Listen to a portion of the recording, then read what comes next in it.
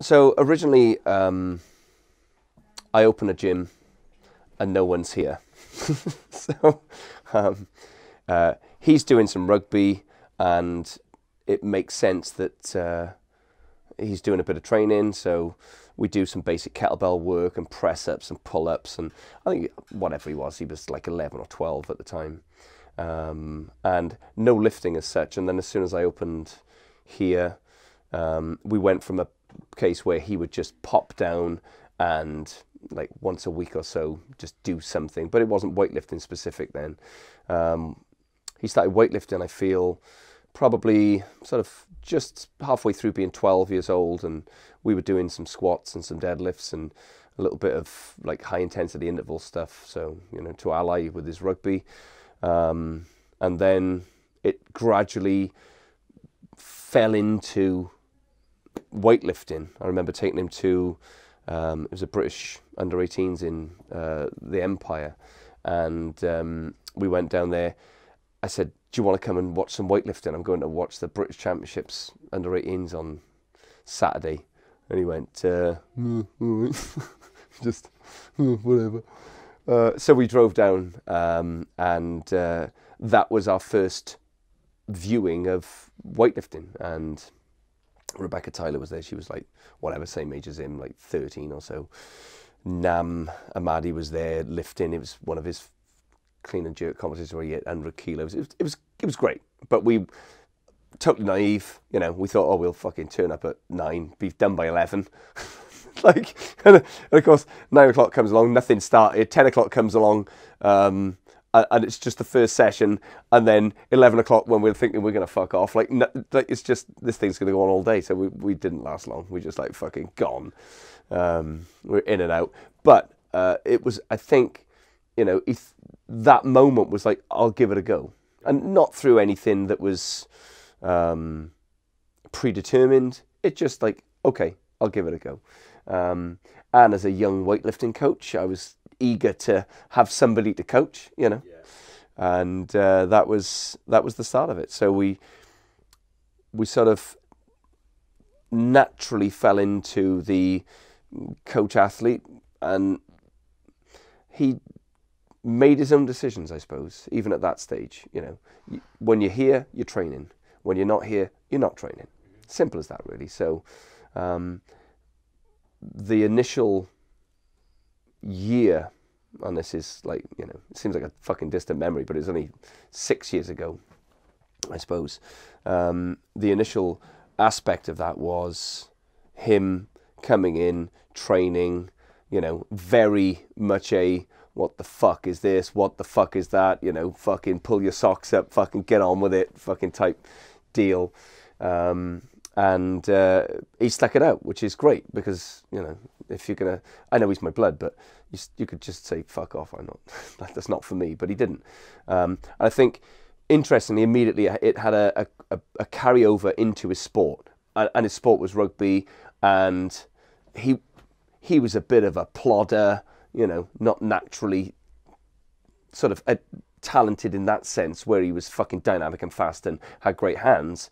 Um, all of a sudden, though, he was seemed to be making more tackles. He seemed to be more explosive, and over like between 13 and 14 like people started noticing noticing a, a, quite a substantial difference in his output for rugby. And it just so happened that um, as a weightlifter he was becoming more qualified. You know first competition was Welsh schools gold medal on the last lift by a kilo. Fucking great. Six for six second competition, British schools. Uh, like bearing in mind, you could fucking roll up, take your fucking. Anybody could win. I'm not saying it was outstanding lifting by the, but it, it showed that he had the temperament for competition. Um, that he was getting rewarded for training early on, which is important, I feel. Um, plus, the real reason he was doing weightlifting was for his rugby, so he was becoming much more of a first team pick if for want of a better word, as a result of um, the increase in speed and power that he was having.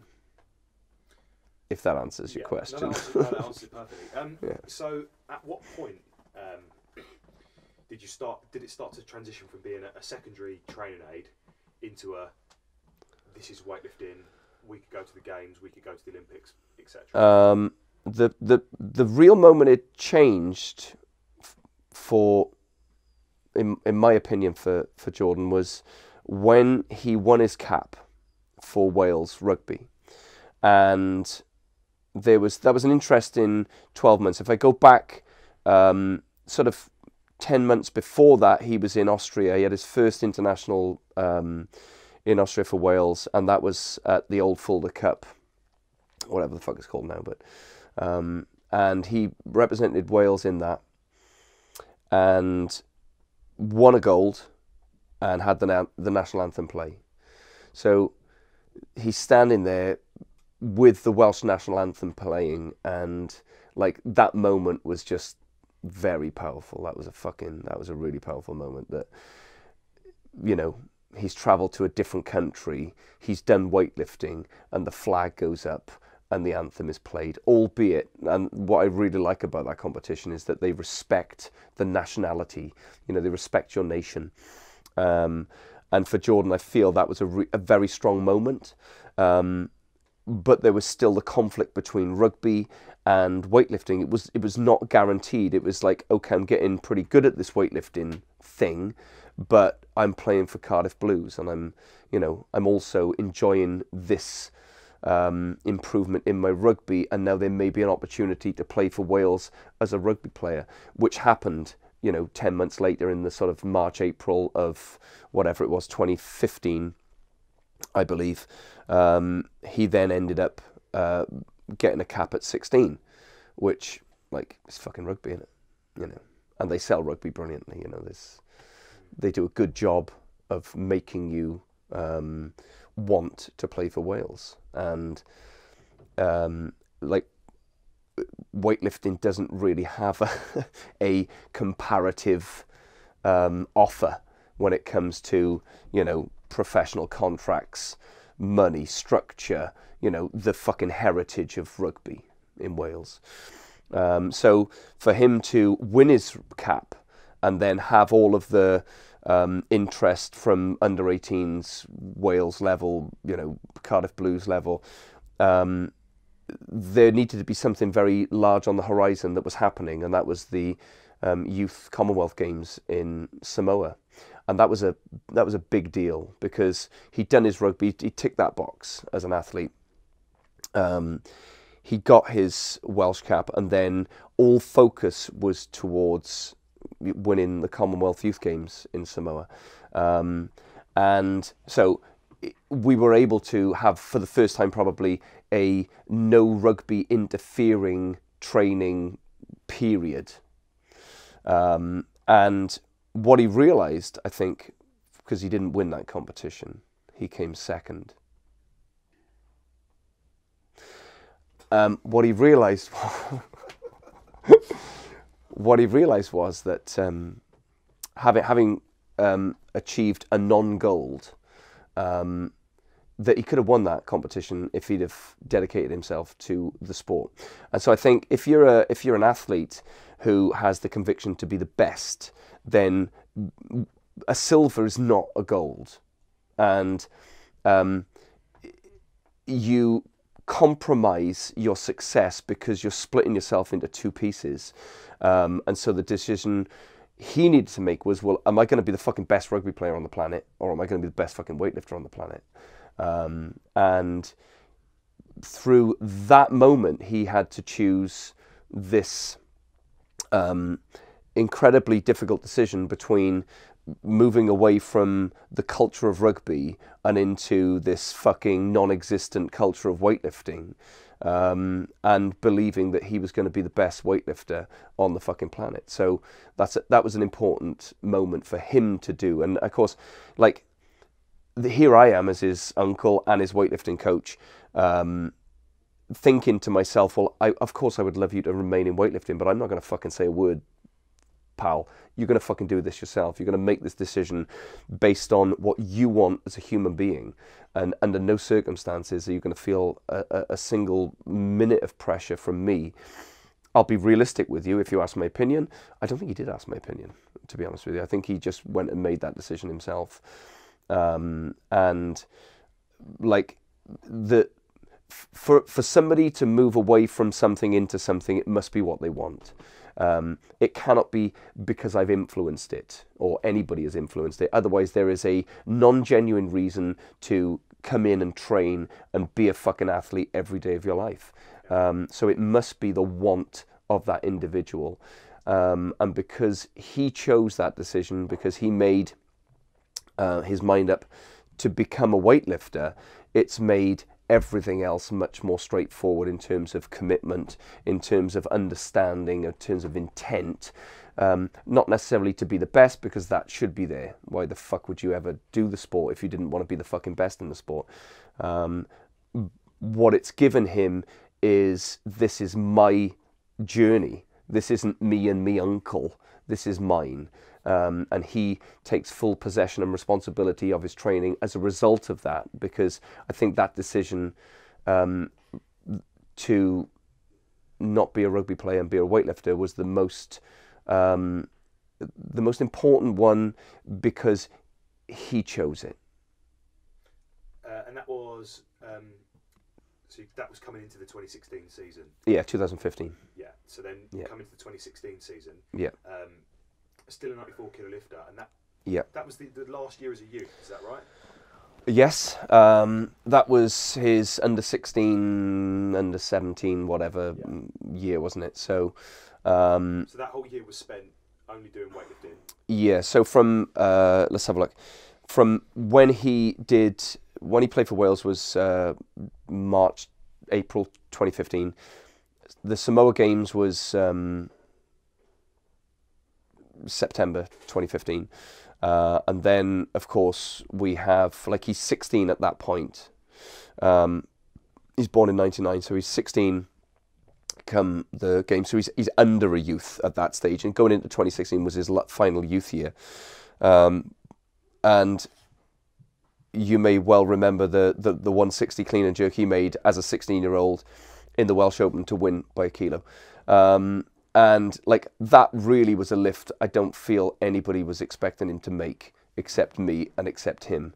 Um, and we went into that competition uh, as as we always do, like confident that we're going to beat everybody because that's important, um, but not knowing um, what it's going to take to win. You know, some days it'll like back in those days, 275 was quite a number, wasn't it? It was quite quite a deal to be hitting, you know, 50, 20, you know, th- those sort of numbers were sort of at his sort of threshold, I suppose. Um, and we had once he'd made the decision to be a weightlifter, then we started to create a more structured. Okay, we can be here by this stage. We can be here by this stage, and look at the development in a very different sense. That um, we are looking to become the best. So we must be looking at um, all aspects of training, not just uh, you know what we're doing per session, what we do outside of the sessions, how we handle ourselves um, for exams, and of course, like bearing in mind that it's he's whatever it is, whatever they do in school these days, A levels or whatever. Um, he had to manage his education as well as you know satisfy his parents that he's not just fucking wanking himself off every day. He's actually getting his education sorting out and, and all the rest of it. So there was a there were moments um, transitioning whereby we were looking at um, you know the technical side of lifting, looking at expressing different percentage zones that perhaps we haven't had the opportunity to work in because we had to stop for rugby, start for weightlifting type deal, um, and you know notwithstanding um, initially in weightlifting, uh, if you if you're not a weightlifter or you haven't been a weightlifter as a as a coach, um, weightlifting's not the most forthcoming. Um, let's give you a hand sport. I think uh, weightlifting likes you to work it all out first, um, and then you know once you can do it, then people might offer the assistance or have a conversation with you. It's not, or it wasn't back then anyway. Um, wasn't the the most sort of forthcoming in terms of uh, you show me where the fucking book is to bring up a 12 to fucking 17, 18 year old young man into 69 to 105 category. There isn't a book in Britain. written by fucking somebody British. You know, Cyril does a great job up uh, north, but fucking Cyril was out the mix, and you'd have to fucking speak to Cyril independent. Do you, know what I mean? So actually having a structure of development is quite a challenge. You have to um, watch, observe, be on your fucking guard with stuff, and make sure that you are really um, that you understand your lifter as they're going through dramatic changes. Like they're going from uh, 85 kilo weight class to 94 kilo weight class. Well, fuck, that's a, you know, he would put fucking 10 kilos on in like no time. Um, so, uh, like, that's a challenge. That's a challenge for him to put the weight on. It's a challenge for your coach to um, assess what the fuck's going on and like where your capacities lie. I'm not a big, um, you know, you know, f- fuck 'em with maximum person. Uh, you know, there are times for maximum lifting, uh, but also there are times when you need to be really um, looking at your percentages and the quality of the work you're doing. And so, um, coming into his youth year, that was an important year for me because I was like, fuck, this is like this is the last time he gets to express himself in this category. Um, and little did I know they were changing the, you know, they would go 15, 17, 20 now, isn't it? They don't have 15, 16, 17, 18, 20. Um, so they changed a lot of the records thing to be in line with Europe and world thing. I can understand that. Um, so it became a really big year. And um, lo and behold, come fucking, um, it was just after the uh, Welsh seniors, so that would be March. Come March, we pick up a fucking wrist injury, you know, and uh, that was a that was a very serious moment because he'd never had an injury before, you know, never had a f- not a peep, you know.